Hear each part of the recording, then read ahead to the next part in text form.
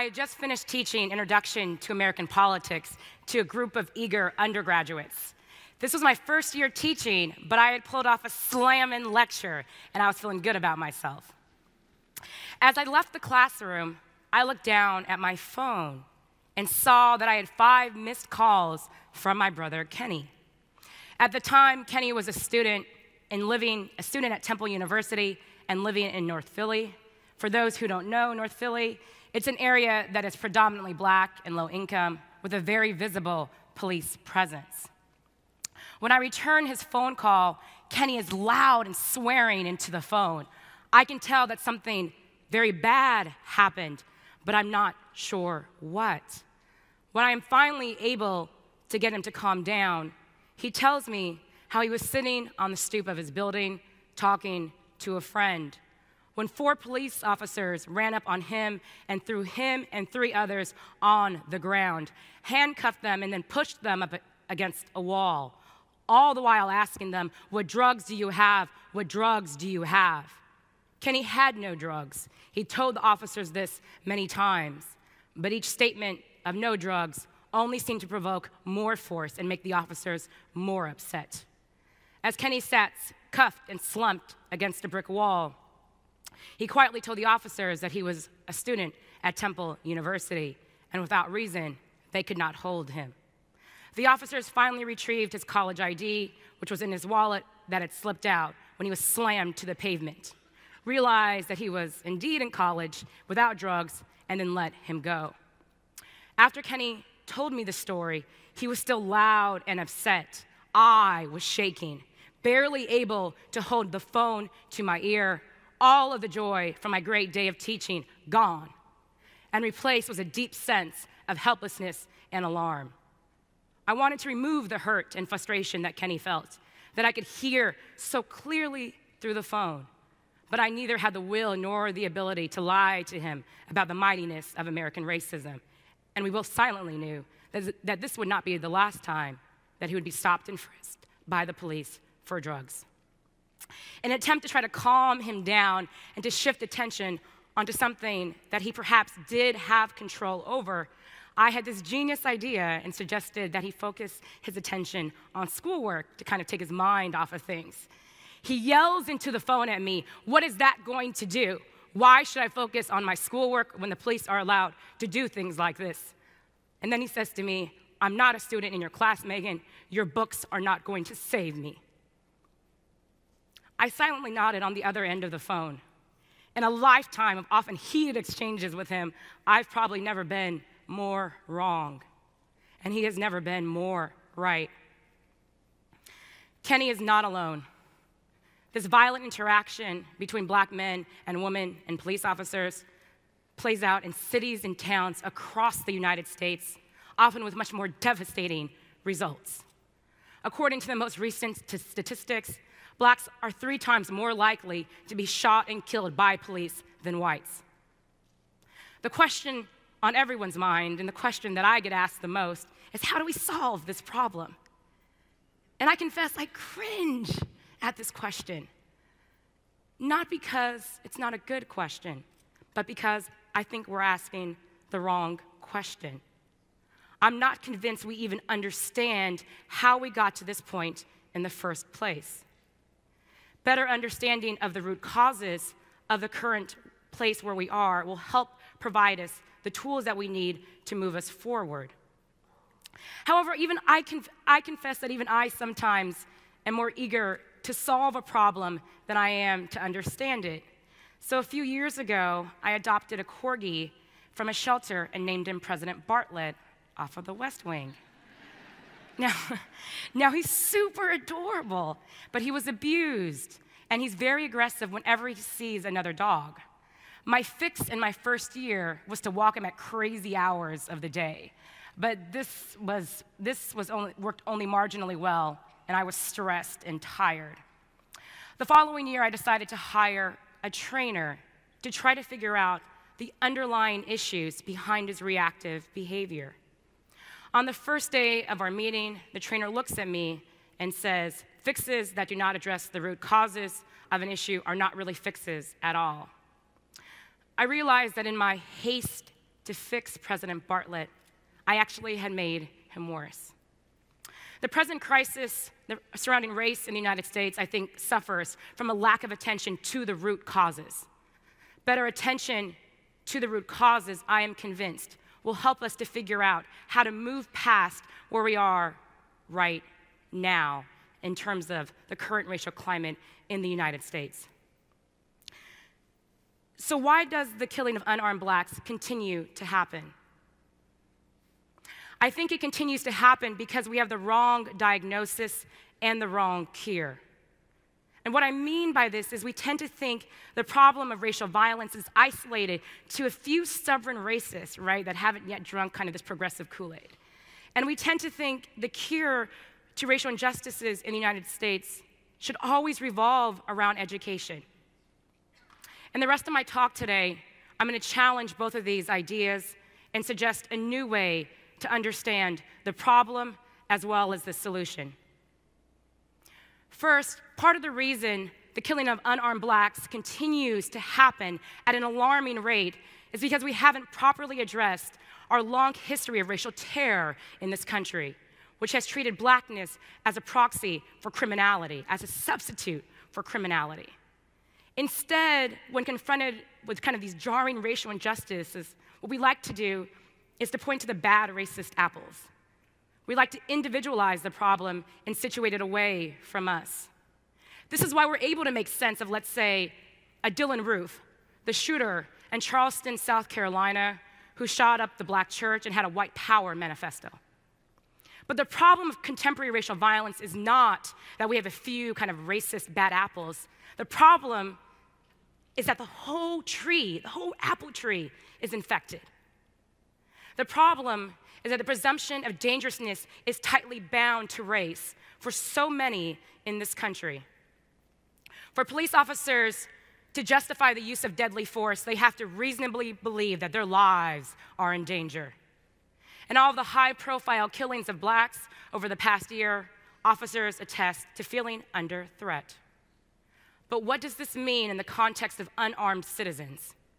It means that black skin triggers a heightened sense of threat, a life threatening sense of threat, that then influences the officer's decision to use deadly force.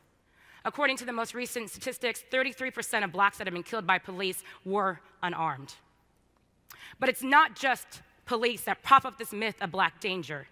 This myth gets reinforced and takes on a truth like quality through everyday interaction when a black man passes and a woman clutches her purse, or when a group of black friends walk by a car and hear the jarring sound of someone who has just pushed their automatic locks because they are afraid.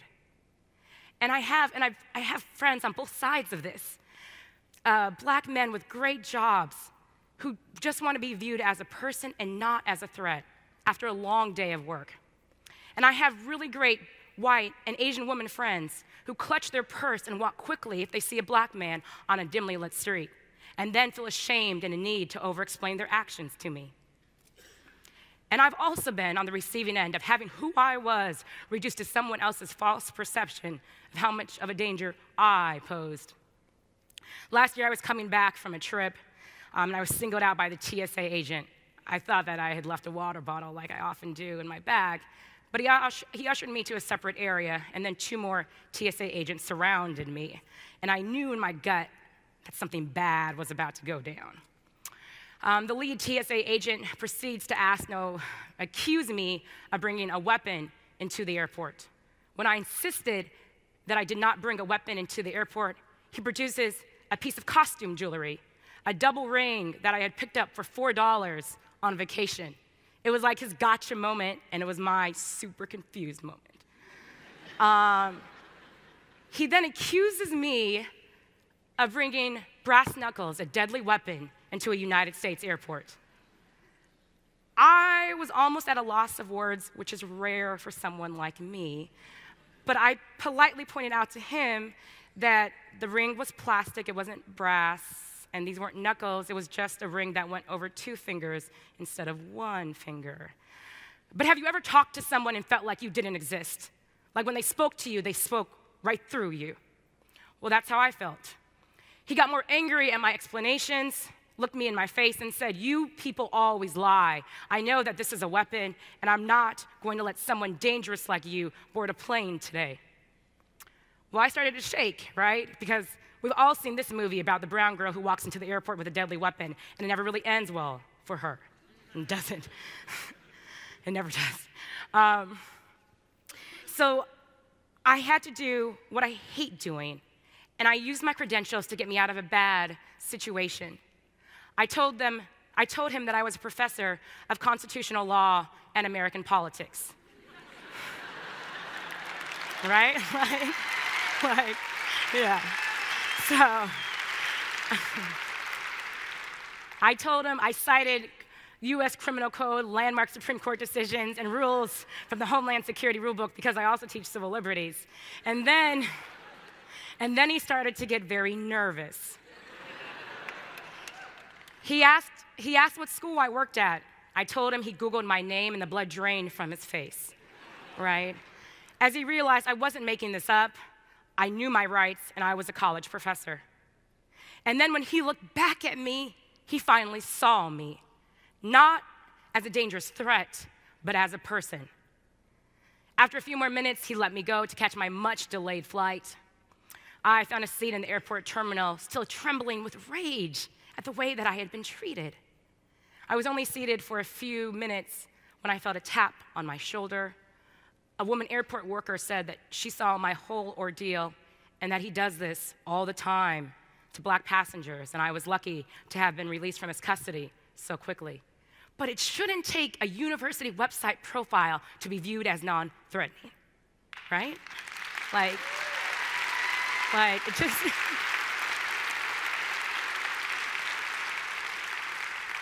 part of, the, part of the reason I share this story and some of the other ones is that I think in, in talking about the current racial crisis, we tend to focus all of our attention on police and overlook our own complicity in creating an environment in which black lives are not treated as equal. To be clear in thinking about solutions to the racial violence, I'm in favor of body cameras. I'm in favor of a non militarized police force. I'm in favor of stricter laws that make police officers more accountable when they stop and frisk people on the street. But I'm not convinced that we would need something like body cameras if we didn't live in a society that treated blacks as dangerous and suspicious first and as citizens seconds, second. It's not just a few bad racist apples in a police department or at an airport. It's all of us who, in big ways, through our actions, and in small ways, by our silences, support this lie, because that's what it is, right? It's a lie that somehow black folk are just more dangerous than the rest of us. So not only do I believe that we've misdiagnosed the problem, I also think we have the wrong cure to it. We keep offering up education as a solution to all racial injustices in the United States. It's kind of what I call sometimes in my classes as the Robitussin of civil rights. Right? Like when I was little, my mom like loved Robitussin. She would give me it. You got a cold, Robitussin, flu, Robitussin, right? Like allergies, like Robitussin. Like where's the Benadryl? but just like Robitussin is not a cure-all for all types of sicknesses, Education is not a cure all for all of America's racial sins. And yet, education is still how most Americans understand their responsibility to fixing contemporary racial injustices. Our measure of how far we have come in the area of race relations is most often calculated in how integrated our schools are, how many innovative education experiments are currently going on, and how many federal dollars are committed towards education. But the problem, the, current, the contemporary problem surrounding the killing of unarmed blacks is not a problem that boils down to providing greater educational opportunities to blacks. This is a misdiagnosis. A book is not going to stop the bullet barreling through a gun at Rekia Boyd in Chicago. And longer classroom times are not going to save Freddie Gray from being illegally stopped and then manhandled by police in Baltimore. This is what I know for sure that in order to combat continuing racial injustices today, we must expand our vision and our responsibility to what civil rights actually means. We must include the battle against racist violence in our understanding of civil rights. Instead of education, What if we placed freedom from racist violence at the crux of what it means to be free and equal in the United States? Doing so does not mean that we necessarily dislodge education, but it means that if racism and white supremacy are a rock fortress, that we assemble a greater arsenal of weapons to break the damn thing down. Now,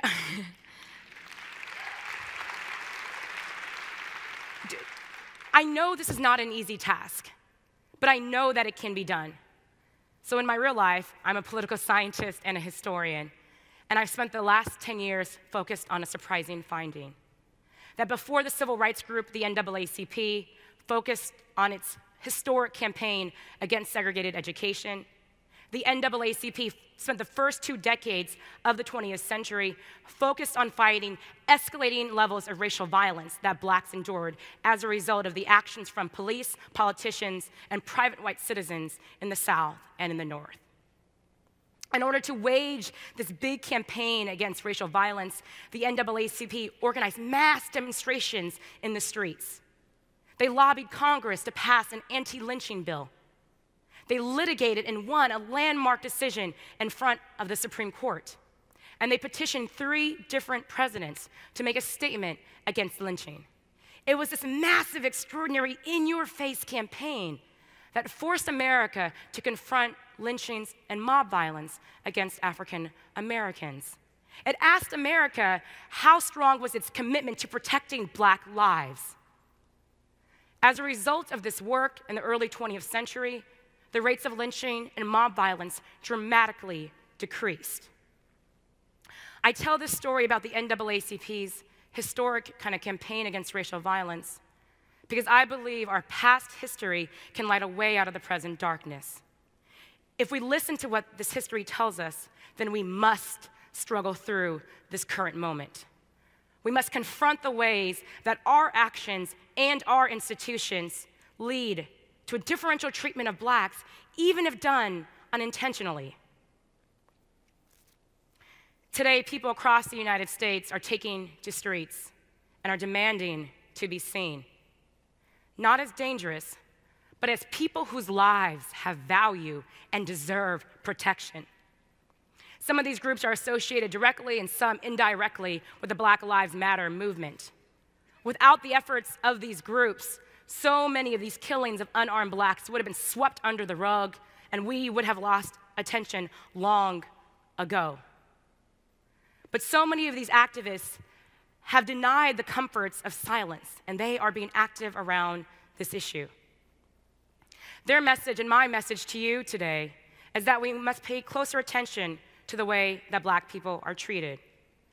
The stories of police brutality and killings of unarmed blacks is not a story about black people. It's a story about all of us, about racial progress and the stubborn durability of American racism.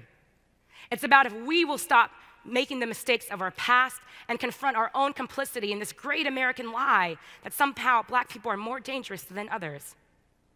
And finally, it's about if we have the courage to take a collective stand against racial injustice today. This year, nearly half of my students in my Race and Politics Upper Division course participated in a walkout in support of the Black Lives Matter movement. Halfway through my lecture, I could hear the swelling crowd of students, teachers, and community members in the quad at the University of Washington. I smiled to myself as I had a flashback to the conversation that I had with Kenny now five years ago. He was right, of course. My books and my silence will not save these students, but their activism, their courage in challenging the status quo, and this movement just might.